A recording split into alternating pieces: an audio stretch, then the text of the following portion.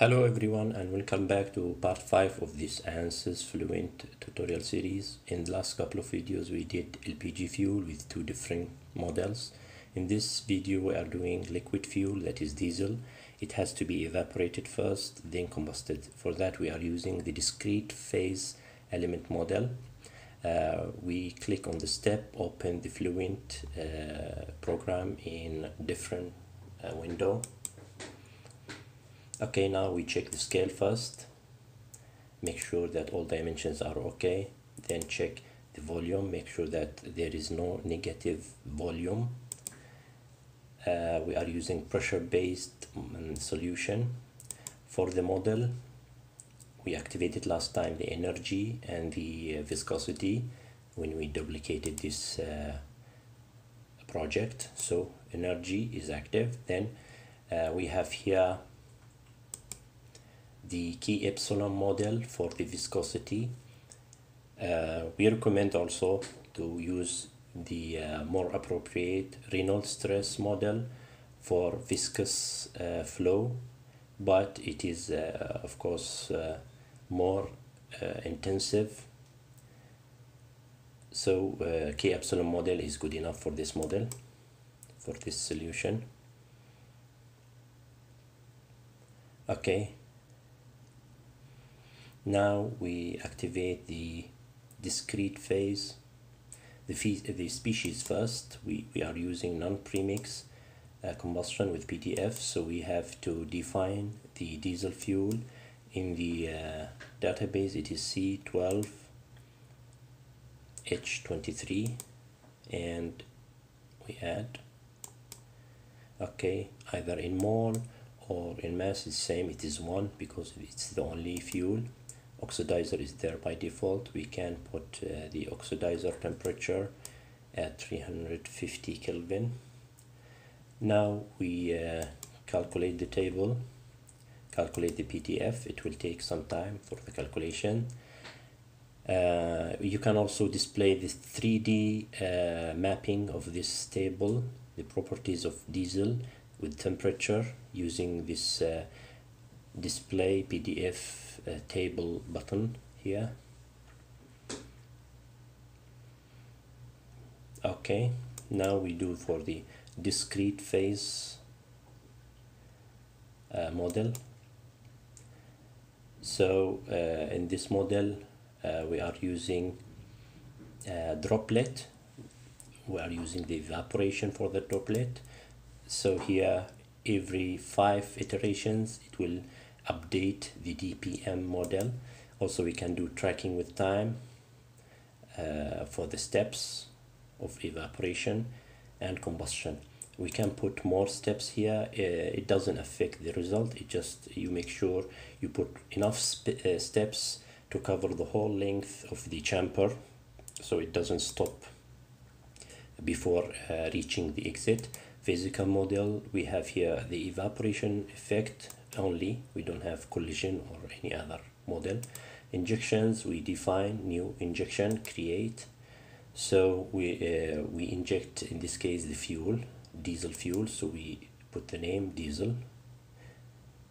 Then we have different models here single injection group injection. We are choosing pressure swirler automi uh, atomizer uh, here is the material in liquid form and the bottom row is the material in gaseous form. It's inactive so in droplet it will only activate. For liquid we have liquid diesel fuel. For gas we use uh, C12H23 we can uh, put 100 stream for better uh, prediction of the swirl injector here the dimensions we can take them from the geometry file from uh, SolidWorks. So we have the injector after 4 centimeter from zero coordinates. So 0.04 mm.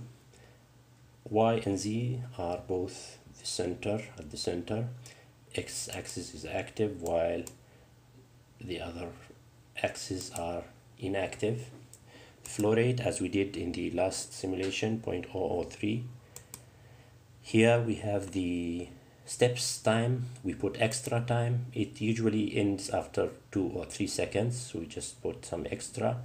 The diameter is 1 mm the theta half radius of the injector is 15 then the pressure is around 10 bar. We can see here in the other window the tutorial page for the swirl injector with atomizer we have here uh, the dispersion angle. It's by default about 6 degree. Here is theta. Our injector is 30 degree so half is 15 we have the theory here that the uh, liquid film by high pressure uh, in the nozzle the pressure part of it converts into high speed and part uh, acts as enough energy to break down the boundary between the, the uh, liquid converted on, into tiny uh, molecules that evapor evaporize. So here all default values are okay. Okay now diesel injection is there. Close. Okay. Now we can check the materials. We have the PDF and we have extra material droplet particulates. Boundary conditioning air fuel inlet we, we did that before. Mass fuel inlet uh, mass flow inlet.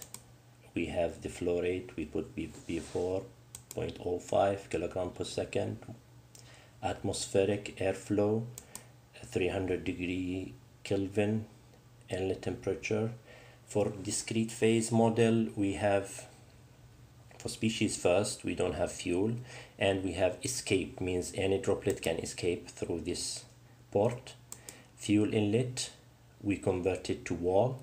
So we don't have any fuel inlet we have the injection only instead. So in this wall we can either choose escape or wall jet. We choose here wall jet.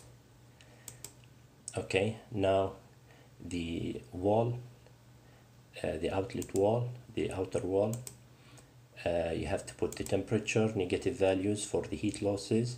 Here it is reflection means any droplet hit the wall it will be reflected uh, inside the chamber. Then the outlet it is pressure outlet. Okay uh, backflow we put last time 1000 uh, Kelvin. Here also uh, no fuel zero. Then we have escape port. So droplets can escape from this port.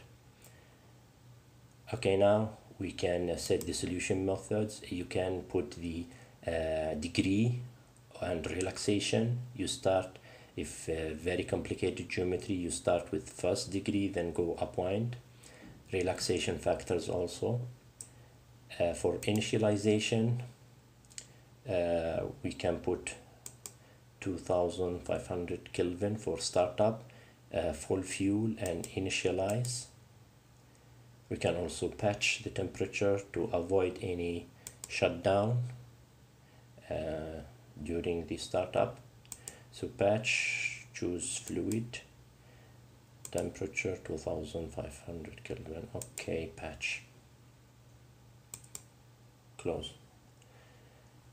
Okay we run the calculation you might run 300 each time then check the result but uh, it will take more iterations you'll put 900 by right you have to uh, check uh, every 300 and see if there is any change in the result or it is already in steady state.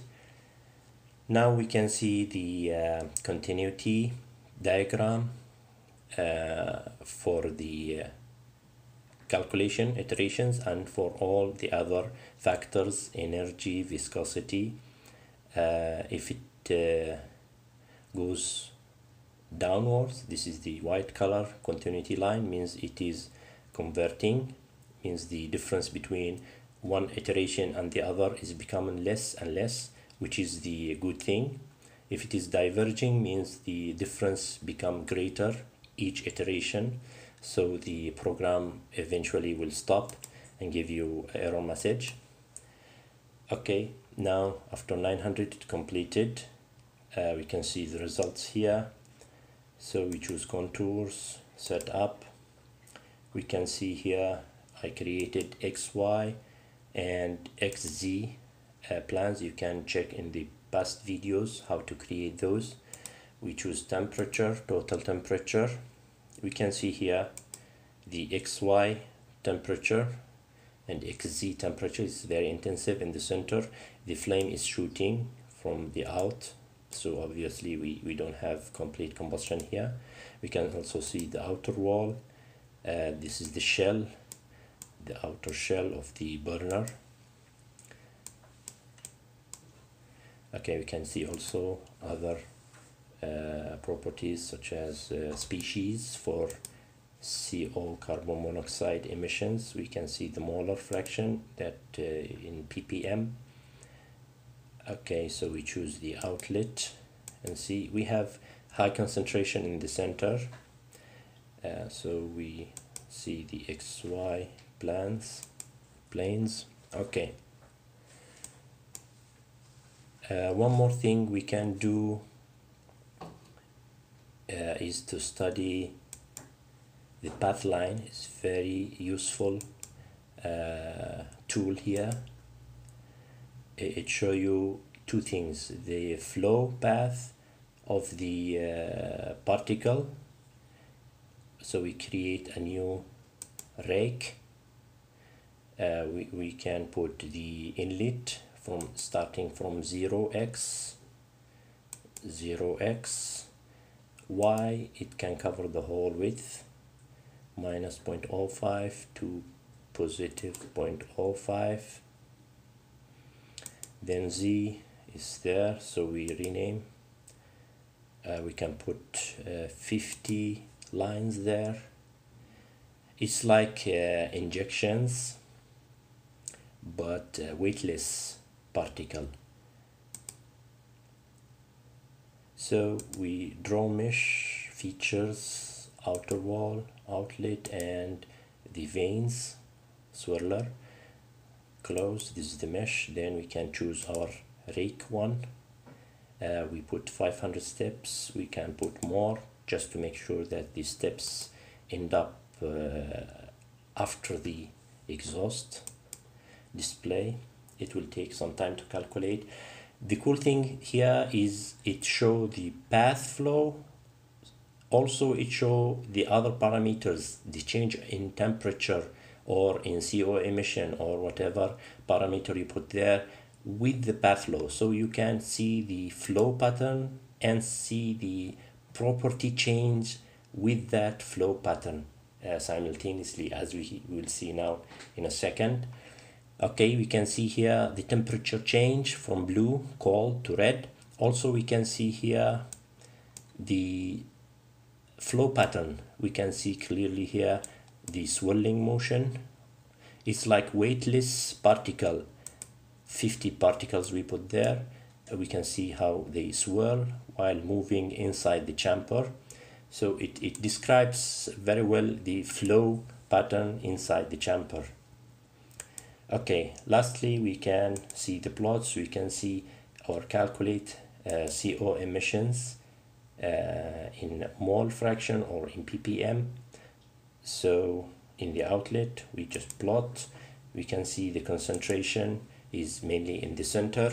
With less concentration by the edge we can also write then open in excel file.